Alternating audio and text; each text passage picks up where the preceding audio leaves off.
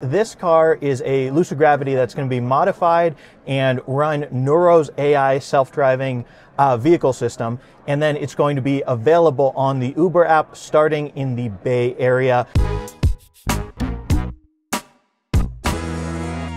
Hey Warenoticer, Shane here at CES 2026 in beautiful Las Vegas, Nevada. And right now I'm at the Fontainebleau Hotel at the NVIDIA showcase to show you guys something that I think is super duper cool. Behind me, we have something that is a partnership between three different companies, Uber, Nuro, and Lucid, to bring you a brand new Uber Robotaxi coming at the end of 2026. So the reason this Robotaxi is here at the NVIDIA showcase is because the NVIDIA NVIDIA Drive AGX Thor chip is what's powering the AI computation that Nuro is doing for this car to be able to drive itself. So a couple things to note about this robotaxi behind me. I love how big and luxurious it feels because, you know, I've tried robotaxis from a bunch of other companies like Waymo and Zoox, and those don't feel nearly as big and spacious as this car right here because the Lucid Gravity is quite a large SUV. I also like the mean black color on this car because it really kind kind of feels like a premium Uber Black type service. So the inside of this modified Lucid Gravity feels super duper spacious. I have so much legroom here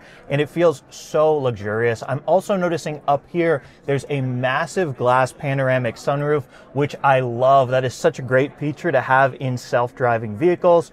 And what I was told by the Lucid employee working here is basically this car is a Lucid Gravity that's going to be modified and run Nuro's AI self-driving uh, vehicle system. And then it's going to be available on the Uber app starting in the Bay Area at the end of 2026. So I am super excited to see these on the road. This feels really luxurious here. On the back here, you also have a touchscreen that tells you, you know, you're here, you've arrived at your destination and whatnot. And now that we're back outside of the car, I do want to say I think this partnership behind us makes a lot of sense because a ride hailing company like Uber is really able to access a big install base for potential robo-taxi and autonomous vehicle users because they're already, you know, the go-to app when people want to get from one point to another with ride hailing. So I've already tried uh, Waymo's on the Uber app in Austin, for instance, and you can watch my full video about that. I'll have a link to that down in the description of this video. But basically how that works is you order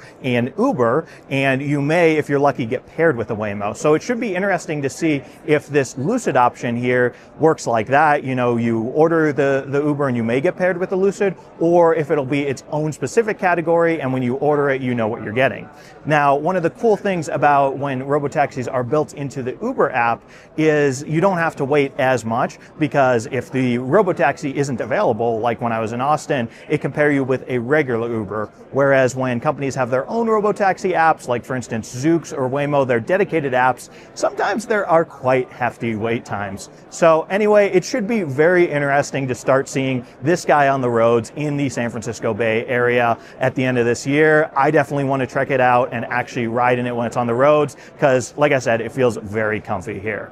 But anyway, folks, if you are interested in more of my coverage from CES 2026, definitely be sure to check out my playlist of all the CES 2026 videos I've made. I'll link to that down in the description of this video. And if you enjoyed this video, definitely don't forget to smash that subscribe button and subscribe for more awesome technology videos just like this one. Anyway, thank you guys so much for watching and thank you so much for subscribing.